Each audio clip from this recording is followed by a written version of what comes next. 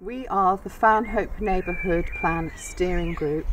And this is the Fownhope Neighbourhood Plan. The plan was written in regular consultation with the people of Fownhope over a period of two years. We held an exhibition in the Memorial Hall and asked residents what they thought about the plans for the future.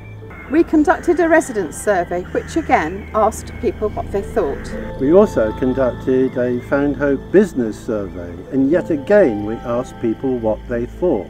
Based on all the information we had gathered, the first draft plan was written and then another exhibition was held. In the light of that feedback, the plan was revised and approved by the parish council. It was then sent to a nationally approved examiner who thought that the plan was a well considered, concise and fit for purpose document that effectively embraces the ethos of constructive conservation and is a very good example of community led planning.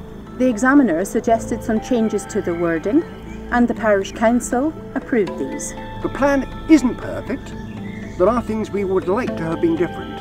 But within the restraints, we think it's as good as we could get. It's now up to everybody to decide whether the Herefordshire Council use the Fownhope Neighbourhood Plan to decide upon planning applications.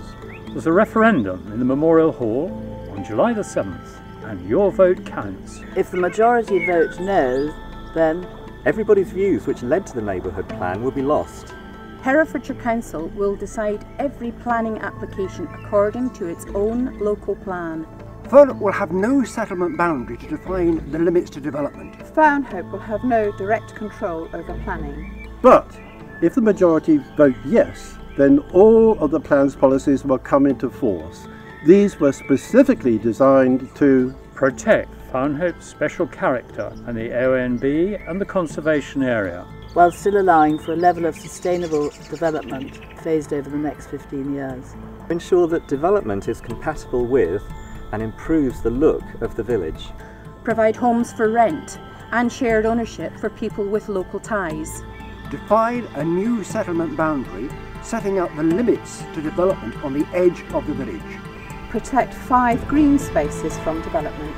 Protect against further flooding. Make Common Hill an area of special character. Support local services, businesses, telecommunications and renewable energy.